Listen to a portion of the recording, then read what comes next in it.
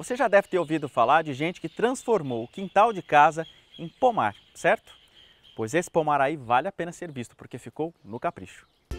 Olhando todo esse verde, a gente quase não acredita estar dentro da cidade. Essa é a propriedade do seu Lorival, um aposentado de 77 anos que tem energia de sobra. Encantado com a vida no campo, ele resolveu criar seu refúgio caipira bem no bairro Aeroporto. Aqui a natureza é o que manda. Você quer ver ouvir ficar triste ouvindo falar que a Amazônia está tá acabando. Você vê no Corumbá, onde eu morei também lá dois anos, e tá lá no Pantanal, tá aquele fogo lá. Tudo é eu que planto, fruta e árvore. E minha mulher e minha esposa e o meu filho gostam disso aí, a natureza que vocês estão vendo aí, ó. Aqui o colorido das orquídeas e plantas do jardim se misturam ao verde, dando um ar interiorano que a gente acaba se sentindo em casa. Como é que era isso aqui quando você mudou para cá? Era isso que está aqui, ó, pasto.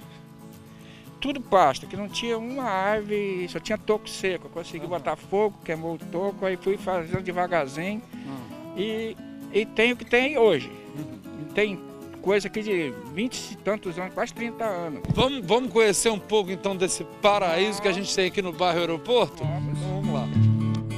E realmente o local é bonito de se ver e gostoso de estar. Taioba, salsinha e olha aí o quase extinto pau-brasil. Jamelão, abacate, laranja. Olha o almeirão como cresceu. Ele já pendoou e está pronto para se multiplicar. E olha a jabuticaba, tá graúda, hein? Ele nos leva para conhecer o carro-chefe do quintal e sua paixão, as goiabeiras. São cerca de 160 pés. Como todo produtor, você também tem problema com alguns tipos de praga, né? Como é que é? É o psilídeo, é a tracnose, a ferrugem, mosca da fruta.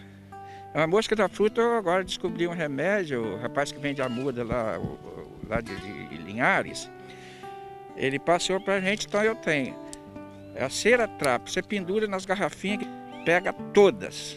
Não precisa passar mais veneno para matar a mosca da fruta. Mas a tracnose não tem jeito.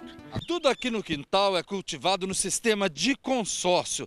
Aqui tudo se aproveita, olha só. As próprias folhas das plantas, o produtor utiliza como fertilizante, que essas folhas vão apodrecer e ajudar no desenvolvimento das plantas. É um exemplo de que na natureza nada se desperdiça, tudo se aproveita. Mais à frente encontramos um pé de cajá e tá carregado, hein? Tem abóbora, banana, olha a carambola que tá madurinha. Tem cana caiana, abil roxo, tem coco, e olha as mangueiras, estão floridas. E para combater a mosca da fruta, ele dá dica além da tradicional armadilha. A mosca da fruta bota mil e tantos ovos. Sim. Então, se eu não catar essas frutas que tá no chão, e, e aqui, ó, as carambolas tudo podre. Uhum. Olha que tem tudo lagartinhas. Aí eu boto aqui na lata velha. Uhum e boto a, a água, se o pó do café que eu invento de jogar na pia para entupir, eu trago para cá, todo dia jogo aqui. Encho de água, a, a, água própria mata ele, a lagarta. Então o segredo é colher essas frutas todo dia? É, todo dia.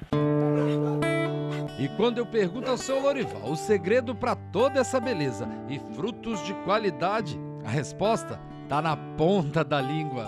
Ah, eu acho que é o amor pelas, pelo que você faz eu cuido dessas plantas como se fosse um filho.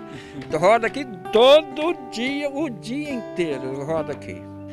A pessoa chegou a um certo ponto, ou aposentou e não sabe o que fazer, procura fazer o que gosta, que ama, porque ele vai viver bem mais tempo. As frutas que o senhor colhe aqui, o que, que o senhor faz com essas frutas? O senhor vende, o senhor doa, o que, que o senhor faz? Olha, as frutas sempre tem aquela que tem melhor qualidade para vender. Essa eu comercializo. Aquelas que são um pouquinho inferior em tamanho, talvez tenha algum defeitinho na fruta, não se joga fora. Ela só tem um defeito na casca. Então, isso aí tudo é doado. Da varanda da casa é possível ver uma boa parte do terreno de pouco mais de um hectare e muito bem aproveitado, diga-se de passagem. E antes de nossa equipe partir, com vontade de ficar, eu perguntei o significado para o seu Lorival de todo esse trabalho que demorou anos. O significado é tanto que eu nunca tirei uma férias. Minha férias é trabalhando ali. E eu me sinto feliz, realizado, tudo que eu faço. Eu tenho muito que agradecer a Deus, que Deus é um pai mesmo. E a gente pode botar ele em primeiro lugar, que nós vamos conseguir tudo que você deseja. E eu estou muito feliz de ter isso que eu tenho aqui. Não precisa de muita terra, não. É pouquinha terra, você vai conseguir fazer o que você quer e que gosta.